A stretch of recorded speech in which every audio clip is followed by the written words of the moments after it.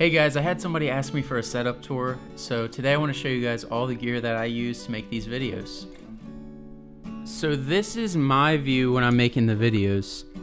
I have this Sony RX100 V on a blue compass microphone arm. This is a tripod mount for a camera, so this is really meant for a microphone, but I put a camera on it, and it is the best purchase I've ever made.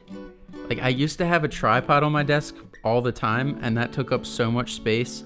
So if you're looking to make your setup a little bit cleaner, I would definitely recommend getting a microphone arm, clipping it to the side of your desk and just having your camera there all the time ready to go. When it comes to recording audio, I have a few ways of doing it. I think this is my favorite way. I use this Apogee Mic Plus and it just gives it a really raw and real sound. So this is the USB microphone I'll use. But if I want to do something more, I want to do more intricate tracking and use an electric and different instruments, I'll use this Apollo Twin. This plugs into the lightning port and I can plug in a microphone. I can plug in uh, a guitar if I wanted to. And yeah, so this is what I use when I want to do more than just acoustic guitar and vocals. This is the microphone I use when I plug into the Apollo. This is a Shure SM7B.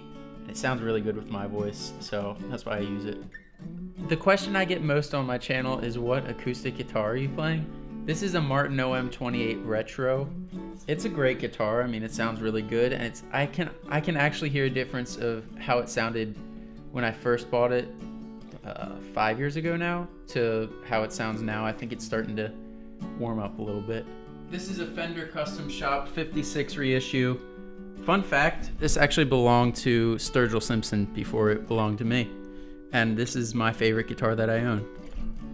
Now, my amplifier that I use is a Fender Princeton Reverb. Great amp. Just, you know, your standard Princeton. That's all you need. So that's my setup. It might change, but this is what's working in 2020 for me. If you guys have any other questions, let me know. I'd love to help anybody out there who's trying to make cover videos. Like, I've been doing this for four years.